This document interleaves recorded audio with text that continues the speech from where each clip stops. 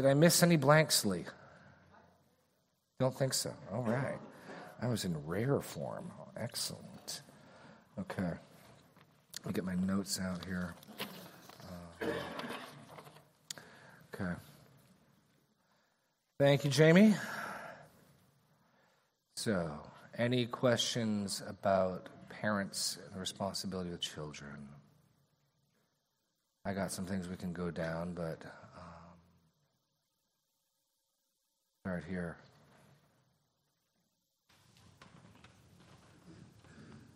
Going, going to Don. Okay. Uh, not necessarily a question, but uh, kind of an observation. And last week you kind of pointed it out a little bit how this is the first commandment in the second table as we interact with other yeah. our uh, fellow man. And the example you gave this morning about the the the man that was going to rebel against the king and how his father didn't uh, restrain him. Hmm. And to me, it's like it's like the first commandment that leads to all the other ones, because it's like if if you don't have proper training coming up as a, a young person, you don't. The rest of the commandments are kind of yeah. gone, and so like society as a whole, we see it in today's world where there's kind of a sense of lawlessness, and these young kids, you know, they don't, they some hate their parents, and you know, like what Serena said about not using discipline or not, like, oh, I love my kids too much to to restrain them, and I think we're seeing the results of that. Well, no, let me yeah, let me give you some of the details of that story. It's crazy. She was teaching in LA. My wife taught for three years in LA Unified Middle School, uh, and she had a, a boy who I nicknamed Violent Mike. This kid had anger issues. He one day he uh, had a photo of his brother. He started stabbing with a pencil because his brother had t- taken something of his. I mean, just like, what are you doing? So he, at one point, um, grabbed her wrist and wouldn't let go of her. And she wasn't quite, she didn't want to get in a tug of war match with him. And so they had a meeting after school. And, well, why did he do that? he, rather than doing his assignments, was writing a novel. And my wife had taken that and said she'd get back to him later. Oh, you took it from him. Yeah, he doesn't like that. Well, he wasn't doing his work. And basically, the individual learning plan for him basically was let him do whatever he wants. I'm like, do you see the connection between his anger issues and no one restraining him? Like, okay. But that's like, that was like, and they treat that like medical science. Well, he's been diagnosed with a, okay. Um, what tests, what empirical data do you have? None, but okay. Um, is frustrating. But I mean, there's, there's, there's a, there's a, in the DSM 5, Diagnostic Statistics Manual 5, ODD, Oppositional Defiance Disorder. I mean, just call it SIN. I mean, it's, no, you can look it up. The characteristics doesn't deal well with instruction, doesn't like being told what to do, doesn't like correction. Like, yep, yep, yep, check, check, check. My heart, you know. Um, and it's it's uh, it's remarkable how we've we've taken things that are moral categories and, and in many cases turned them into sickness disease categories, because of course then no one's responsible. You can't repent being sick, right? But there's also no gospel, right, for being sick. I mean, there's no promise in the gospel that your, your disorder is going to get fixed. So it's, it's uh, the, the amount of confusion in our world over children is absolutely stunning. I mean, even, think of the cognitive dissonance even with the march for the chain for life, right? On the one hand, you can kill children, babies. You can kill them partially born. That's fine. And then how much does our culture freak out if they think you're mistreating your kids once they're in the world? I mean, just, I mean, so what is it? Are they disposable or are they precious and priceless? And our culture's like, yes! I mean, the cognitive dissonance of that is stunning. Um, and, and, for a culture that's relativistic and doesn't believe in uh, and that doesn't believe in ethics and real morals, they're insistent that children are born good, and that anything that's wrong with them is environmental which is again at odds with Scripture. Like the kid comes into the world with the seed packets of sin in their heart, um, and So, on this topic in particular, there's just so much conflict with the culture. Greg, get the man on the mic. I am just sort of freeform spitballing off what you were saying, but yeah, I, I agree. The, the, this is really a point where there's massive, massive disjunct and disagreement with the culture, and we just need to recognize that and not be ashamed of it. Greg. One thing that seems clear to me that all parents have precious few years to get this figured out. Yeah. And it, there comes a point of no return. I'm not sure exactly where it is. I, I wouldn't say to a parent, if you haven't disciplined, disciplined them by the time they're 13, you're sunk. Oh. But I kind of feel that way that once that child is no longer in fear of their parents at all, well, you, your ability to then deal with them has greatly been diminished, and and uh, because you you can't physically discipline them because they're too big. Right. Uh, uh, you know, right. mother can't do it. Right. The child just says, "Get away from me, leave me alone," whatever. And uh, you know, I'm sure I'm not the only one that's been into a store and just wanted to plead with a mother, "You've got to get this a handle on this with this screaming child." because one day that ability will be gone and, and we'll be housing them in the prison system uh, soon. Yeah. No, I mean, that's, that's another point I could make from this morning that came out in the series. You're their first authority. If they can't wrap their heads around the fundamental notion of I need to submit and order myself under your authority, the stakes only rise when the authority is Caesar, when the authority is God, when the authority is the employer. And if they can't learn how to honor and obey somebody who loves them and brought them into this world, they're going to have a nearly impossible time with the police officer who doesn't love them and didn't, you know. And so, in so many respects, these things, yeah, need to be learned in the house. Jeff Zimmerman, I remember him pointing out to me helpfully that uh, when we're tempted to smile or, oh, it's cute, when the kids are rebelling, just think about that behavior four years down the line, five years, and the roots are only going in deeper. Um, the patterns only become more entrenched. So yeah, you wanna you wanna deal with things, uh, you nip things in the bud. Um, Jake, you want to add to that? Yeah, I think I. Um, yeah. You spoke about it this morning about how when a toddler is defiant and oppositional, it's almost cute because of how ineffective they are. Yeah. But that grows up, and that toddler becomes a middle schooler who won't let go of his teacher's arm and stabs right. pictures. Grows up. I mean, the sin matures as well, and you got you know outside that limited time frame. That grown up looks like murder or robbery or rape or something worse, if there is something worse. You know, it, because that's what it grows up into. The do whatever you want grown up looks like that.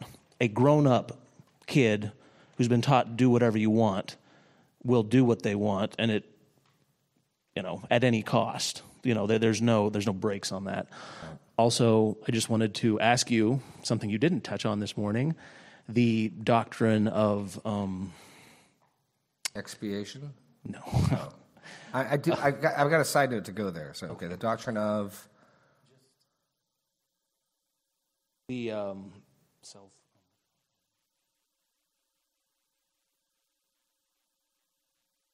Esteem. Self esteem, yes, thank you. Sorry, I lost it. I had it, then I lost it.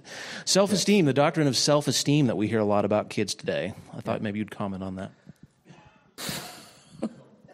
because that's um, something else our culture believes in. Yeah, yeah. Um, it's, again, the Bible assumes we think far too much of ourselves.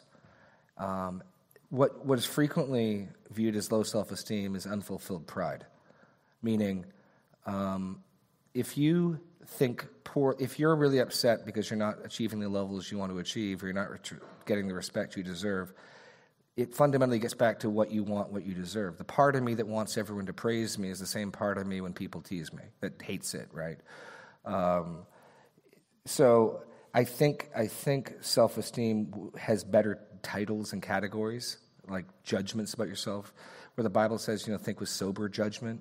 But um, our obsession with self esteem is, I think, setting up a lot of the rage that we see um, with young adults because people have lived through terrible times. The plague would sweep through and just wipe out families and towns. People have lived through times where they've starved. The, we live in the wealthiest society in the wealthiest port of human history with the most conveniences, with the most luxuries, and the levels of rage that some people can achieve. People who are, you know, grew up with stuff.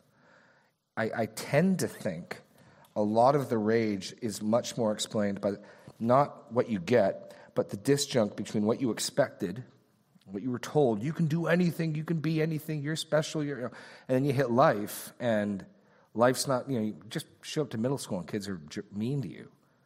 That disjunct between what you were expecting and what you think you deserve and what you get is the, the gap that I think rage fills.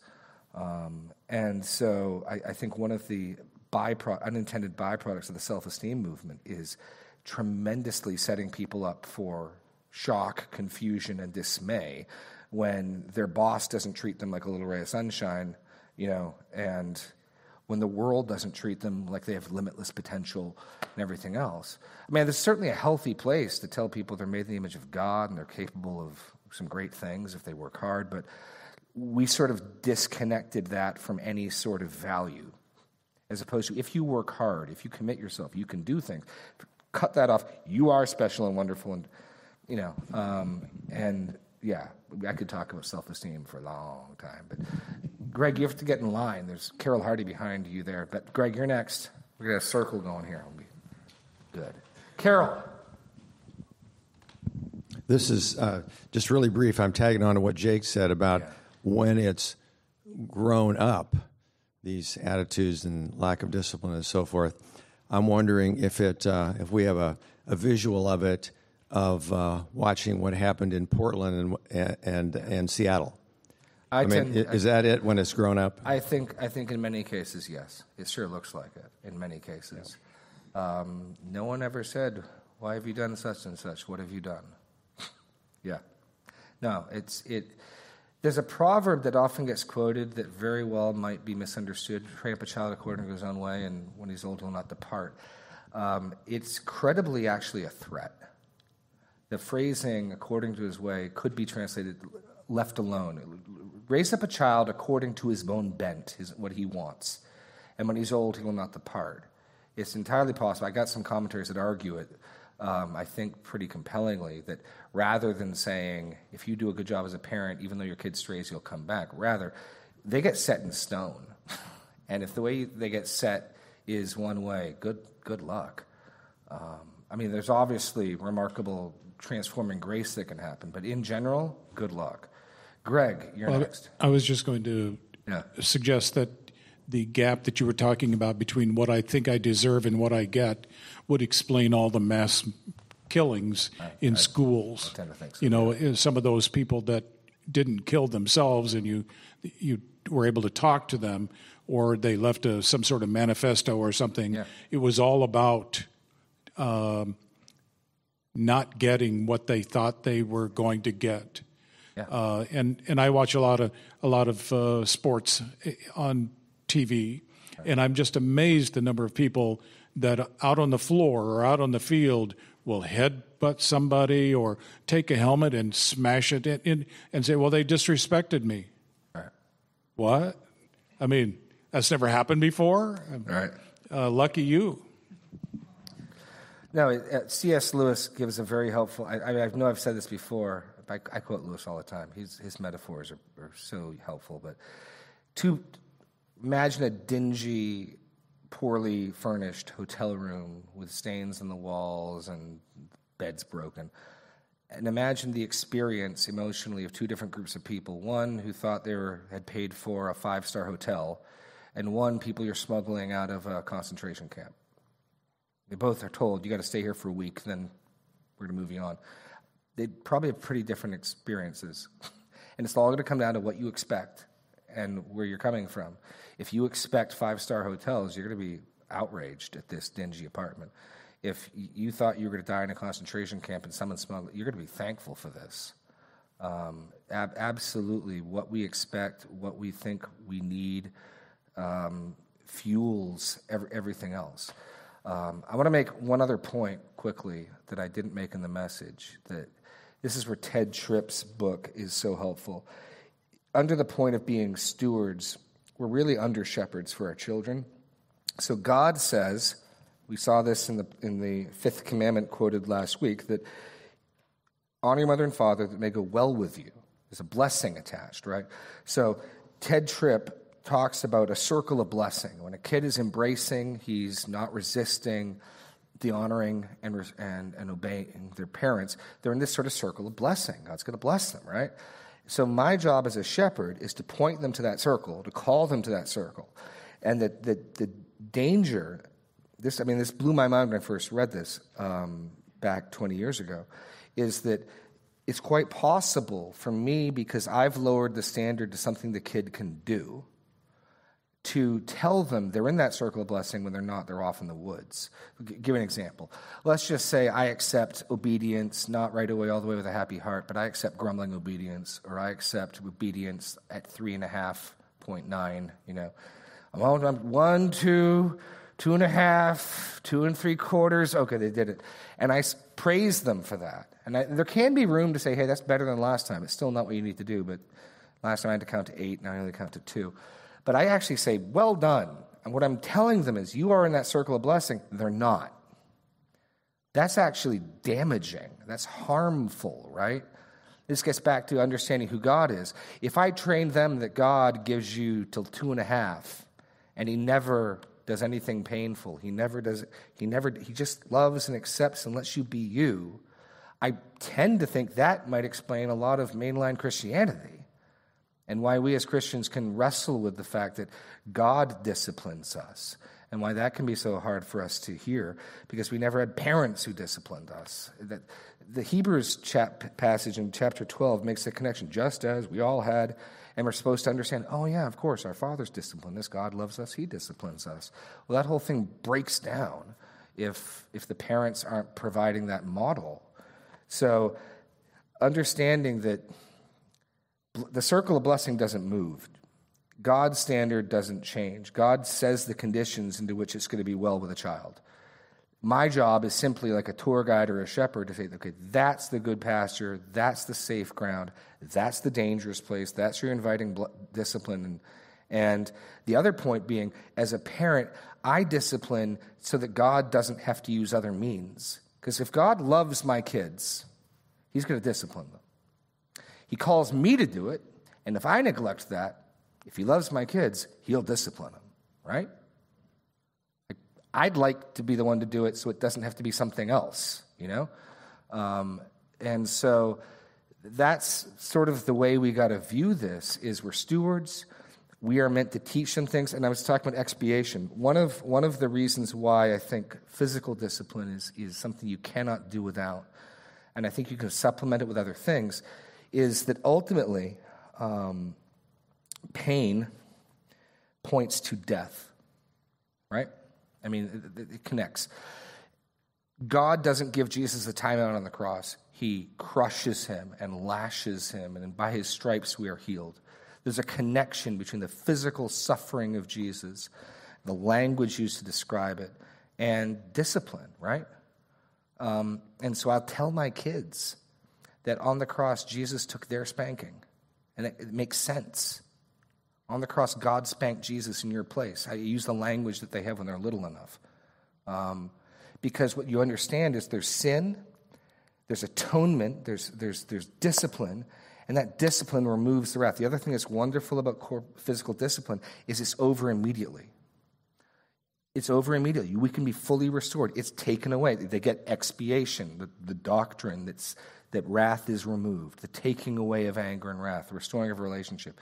So, more than any other form of discipline, this does set up and picture gospel categories. Um, and it gives you an opportunity you're talking to your kids to, to bring the gospel to bear. What you've, you've broken the law, there, there must be consequences. But once that punishment is metered, it's resolved, and we can be restored and all it takes is your confession and asking for forgiveness, and I'll gladly, gladly grant it. Let me tell you about God and the forgiveness He grants. And the dis- I mean, these, these things connect in ways that well, you need a timeout, and God put a, Jesus on a timeout on the. It doesn't really work as well. Um, which is these things can be used and supplemented, but biblically, this is the center, this is the standard, this is the starting point, and then I bring in other things to help along. Let me make one other point. This is primarily dealing with folly. Um, as as my children grow older, I'm able to reason with them more, and consequently, the the the consequences can be different. Um, you can't reason with folly, but I can usually reason with my 11 year old. It's, it's seldom that I'm dealing with that rank folly and foolishness with him, and so we've in many respects left much of that behind and moving to new forms of teaching and instruction because there's no real question are you willing to be my son? Are you willing to honor your mother and father? I've, I've told all my kids this. I've, they know this. You, you're welcome to live in my home as long as you're not married. Two conditions. You're doing something useful with your time. You're not playing Xbox all day. Something useful. You don't have to be making money, just something useful, something profitable with your time, and you're willing to honor and obey your, your mother and father. If we, you got a home here until you get married. You can stay here. If, if, if, uh, if that comes to be disputed, you will eventually, if that dispute can't be resolved, have to leave. I told them this now. I don't want to have to say that when they're teenagers if any of my kids start to rebel as a teen. I want them to know these are the conditions. Find something useful to do with your time. Honor and obey your mother and father. We're good. Good. Um, that's, yeah, oh, Lee. Yes. Well, I hate to just I agree with all that, of course, but the, the my my next my no this this has actually nothing to do with that. But I oh. did want to insert. Last yeah. week, somebody brought up the question about grandparents, oh, and so yeah. often we hear people say, "Oh, you, I bet you just spoil them rotten and then send them home." And I say, I would never do that because a I have to spend time with them, and B, the parents don't want a bunch of spoiled brats returned to them. So what I find is with I actually, you know, you know, I watch Liz's kids. Uh, a couple days a week yeah. that I am I look at myself as in loco parentis. Yeah. So and they agree with me. They're, we're totally all on the same page of what is discipline, right. how we're going to treat yeah, them so that the kids get a consistent uh, behavior expectation wherever they go at home. And uh, I just think that's the way to go. And I hate it when people say, "Oh, you're just going to spoil them." It's like, no, it's. But it is true. I do want them there's to go, reason go away at the end of the day. There's but. a reason that there's a place that proverb comes from. I don't know what happened to my mother, but both of my Talitha and Eliana have got a Philadelphia attorney on retainer pro bono, and whenever they're involved, the door to her side will sort of crack open, and and if there can be a defense that can be made, it will be made. Yeah. Um, but no, no, absolutely. The question about grandparents, you want to act, talk to your kids, and you want to coordinate and supplement. You, you, the best thing for my kids is not only to get a consistent standard in my home, they get a consistent standard from all the Christians they know, yeah. right? Ideally, they're get, they're hearing the same thing, they're seeing the same thing from everyone. Um, one of the other things that our culture says that I don't I don't know where this comes from, is only the mother or father could discipline. I'd say that whoever is the local parent, whoever you're entrusting them to, I, wouldn't take someone's kids for any length of time if I couldn't, because very quickly the kids get to figure out you got nothing to back that up with. Yeah, and also right? even I would encourage yeah. the older the parents, yeah, all yeah. like you say about. Uh, the kids all have the same expectations that like if i see a kid running in church i will tell them because I'm the grandma. I say, stop running. Yeah. You're in church, and call. You know, and I think we yeah. all need to do make sure we do that to kind of help because that's helping out the parents too because they can't be yeah. everywhere every second. So. Right? No, no, absolutely. We live in a different world. You're more likely now if someone's if you're at the mall and someone's kid is running and you told them to stop, you're more likely to get in trouble for that. we live in a very different world than we used to. Um, and so, yeah, we, we want as grandparents, I'm not a grandparent, as grandparents, grandparents want to supplement and reinforce and maintain the parents' vision for what the standards are uh, in the home. The, you want it to be as consistent and seamless as possible because, again, kids learn. They learn how to play one parent against the other. They learn who the softy is. This all comes hardwired naturally to them, And so they will exploit weaknesses, inconsistencies, and division. They'll just naturally do it. I mean, we do the same thing. It's not like just children do it, but they, they do it well, you know? Um, and so we want as much consistency and as little daylight between us as possible. Okay. Oh, Bridget.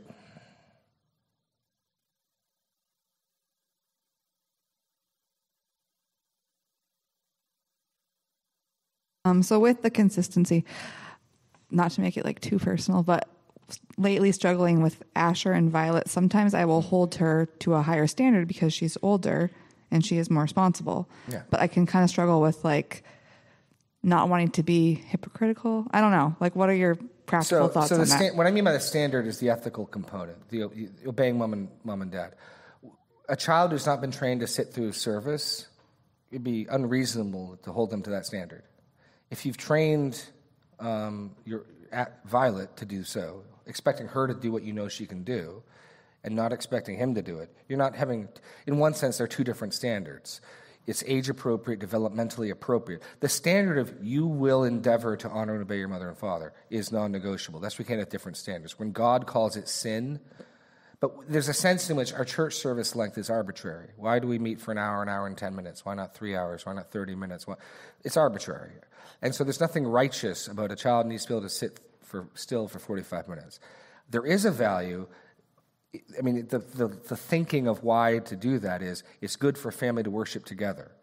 In order to worship together, we all need certain attendant skills, like being able to sit still for an hour and 15 minutes. Therefore, it's important, as soon as I can, to train my children to do that so we can worship together, so we can, right? But it, there's a sense in which it's arbitrary. The part that's not is the you will respect your mother and father, you will endeavor to obey. And, and those don't negotiate. Like, I only, ex- I ex- if you were expecting Violet to be more zealous in honoring you and Zach than Asher, yeah, that's rough. But what they can do, what they're capable of, of course that's going to be separate. Absolutely. Well, it's kind of like once I tricked my kids. Um, Serena was having a hard time getting them to clean something, and I said, I'll pay you each 10 bucks if you clean it. Oh man, they got it spotless. Hey, guess what? Now I know you can do that. I'm never paying you again. Now I know what you can do, right? We've proven it. We've proven it. So don't tell me you can't do it. So, so, so there's a sense which once I know what you can do, um, it's, uh, it's then holding them to that is, is different. I mean, partly as parents, we're studying what can our kid do, what can't they do. But once you see them capable of something, then calling on them to do that is, I think, reasonable and good. Um, sometimes it can be challenging knowing exactly what they're capable of. In my experience, we generally underestimate what they can do rather than overestimate, but still, it's fair enough. Um, trying to discern whether you're dealing with one of the most difficult ones for us, although God was good, this became clear, with Talitha. Serena had um, taught her baby sign language to say thank you, and she was all proud of it. And she's like, Daddy, can you give Talitha a glass? And I gave her the glass. Hey, Talitha, say thank you. And she just looked stone faced at me. And She's like, No, no, she can do it. Wait, say, hold on. Do, you know, was thank you. This is thank you, right? No, this is thank you. I don't even know. Um, and and she just looked at me. She didn't have like a mean face on her face. She just and I'm like, ah, she apparently no, no. Serena's like she knows. Well, now Serena's making a deal, so I got to back her up. So I'm like, okay. And she puts her on her lap. Okay, say thank you to Daddy, and Talitha just. And so backing up Serena, eventually I'm like, okay, if you insist, you made this a deal. So I go put her in her crib as a form of discipline. Um, you, you, didn't do what mommy said. And then after like 10 minutes, Serena said, why don't you go check on her? So I go and check on her. And I come in, you know, they can like curl up like a bug. And I came and said, hello, Talitha. She popped up all happy. And I said, can you say thank you to daddy? And she goes, and then she curled back up in a ball again. I was like, oh no. She knows exactly what's going on. I'm like, okay. Um, and so, but sometimes you can't tell, right? That was, I mean, that's why I'm like, Serena, we, we have to finish working through this because you're absolutely right. She knows exactly what you're asking her to do, and she just doesn't want to do it. And, you know, try to discern do they understand what you're asking them to do? Do they know? I don't know. I mean, that, that, that can be challenging. Um, but expecting them to do the fundamental commandments God requires, to talk respectfully, to, to try to obey when they know what you want them to do. This is a long way of saying there should be no double standard in regards to that. What you're calling on them to do, what responsibilities you give them. Of course, that's going to be age dependent. I mean, my kids, like, just readily, of course, Abner, who has greater responsibilities, has other privileges. He can stay up later some nights, and he, of course, and when you're older, you can do the same thing. I have no problem saying that there's different standards for different kids in that sense.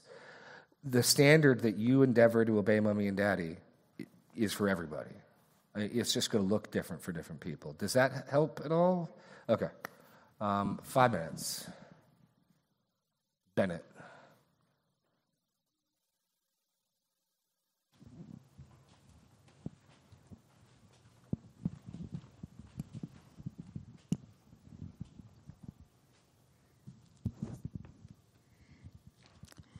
Thank you. Um, I was gonna say um, one quote from Luke when you were talking about something back a ways ago, and I um, it was in chapter eight, verse three, and it was a wonderful quote.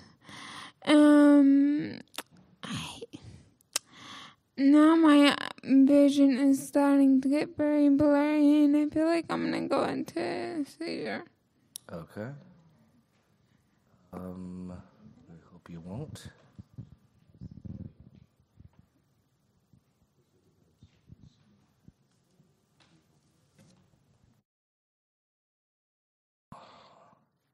Let's uh, let's pray. Lord God, we pray that you would um, grace to Bennett, that you would uh, give her uh, full use of her body, mind, and that um, whatever needs she has, you would supply them. We pray that you would uphold her even as you uphold us. We think of others in our body, uh, Ron, uh, dealing with physical infirmity, uh, Patty, loss of Wendell, and Lord God, you are the great physician. You hold us in your hands. Uh, we're not as aware of it as some are, but our every breath comes from you. You, you give us life, you uphold us. So, Lord, we look to you. We pray that you would give grace, that you would give strength and health uh, to Bennett, to Patty, to Ron, to others, to us. We might be faithful and might serve you. Lord God, I pray that we would be faithful as we leave. I pray that you would um, raise up our children using us, that you would um, cause them to fear you and know you, and honor you, that they would spend eternity with you. That is our great desire for them. In Jesus' name we pray. Amen.